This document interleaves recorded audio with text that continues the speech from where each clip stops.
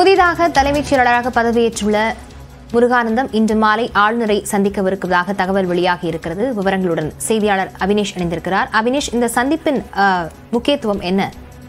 லாவண்யா கடந்த திங்கள் அன்று பத்தொன்பதாம் தேதி அன்று தமிழக அரசின் புதிய தலைமைச் செயலராக முருகானந்தம் ஐஏஎஸ் நியமிக்கப்பட்டு பொறுப்பேற்றுக் கொண்டார். அஹ், தமிழ்நாட்டின் ஐம்பதாவது தலைமைச் செயலராக பொறுப்பேற்றுக் கொண்டிருக்கக்கூடிய நிலையில மரியாதை நிமித்தமாக அவர் பொறுப்பேற்றிருக்க பிறகு தமிழக ஆளுநர் ஆர் என் ரவியை இன்று பிற்பகல் அஹ், நான்கு மணி அளவில் ஆளுநர் மாளிகை வளாகத்துல சந்திக்கிறார். ஒரு முக்கியமான ஒரு நேரத்துல அமைச்சரவை மாற்றம் உள்ளிட்ட அஹ், இலாக்காக்கள் மாற்றம் எல்லாம் வரும்னு சொல்லிருக்கக்கூடிய நேரத்துல இந்த சந்திப்பு அப்படிங்கிறது ஒரு முக்கியத்துவம் வாய்ந்த சந்திப்பா இருக்கு. இன்னைக்கு சிஎஸ் வந்து ஆளுநரை மீட் பண்றது ஒரு கேட்டசி மீட் அதாவது முதல் முறையா அவர் பதவியேற்றதுக்கு பிறகு சந்திக்கக்கூடிய ஒரு கேட்டசி மீட் அந்த வகையில அந்த சந்திப்பு இன்று இன்று பிற்பகல் நான்கு மணி அளவில் ஆளுநர் மாளிகை வளாகத்துல இந்த சந்திப்பு நடைபெறுகிறது. லாவண்யா.